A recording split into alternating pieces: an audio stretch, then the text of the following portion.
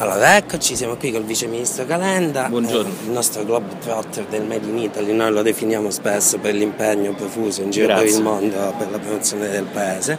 Siamo qui alla 54esima edizione del Salone del Mobile. Eh, nell'anno eccezionale di Milano, in particolare dell'Italia più in generale, pare che questa sia una certezza inscalfibile. Ah sì, lo è, è un evento leader, lo è sempre stato, lo rimarrà, è l'evento che riesce a evolversi continuamente per rimanere leader appunto.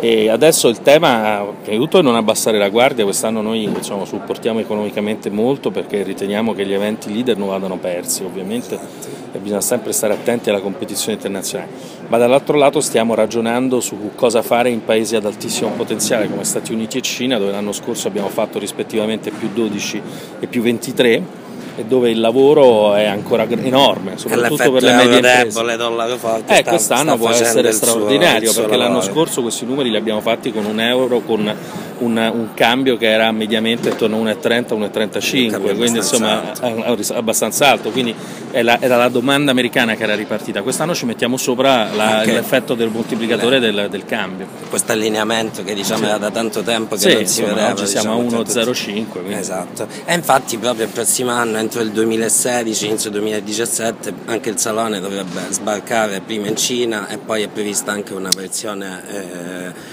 americana. Sì, noi stiamo, stiamo lavorando per fare diciamo, un po' di espansione lì con attenzioni diverse e con eh, una, diciamo, una consapevolezza che se sbarchiamo in qualunque paese lo dobbiamo fare da leader e Esatto. quindi farlo molto bene.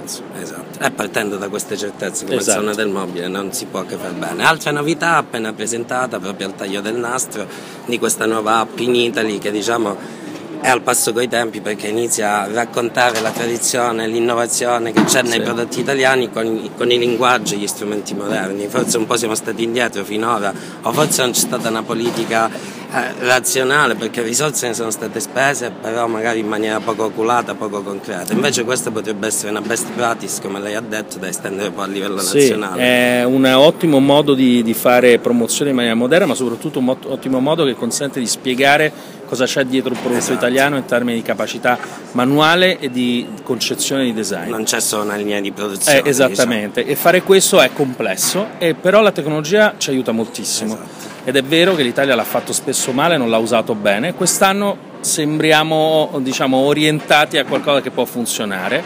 Mm, noi lo applicheremo, vediamo prima come funziona per il settore del mobile, è sempre importante fare dei test, ma eh, la consapevolezza è quella che potrebbe essere un turning point per gli strumenti di, di promozione internazionale. Va bene, noi la Grazie, grazie tante, grazie.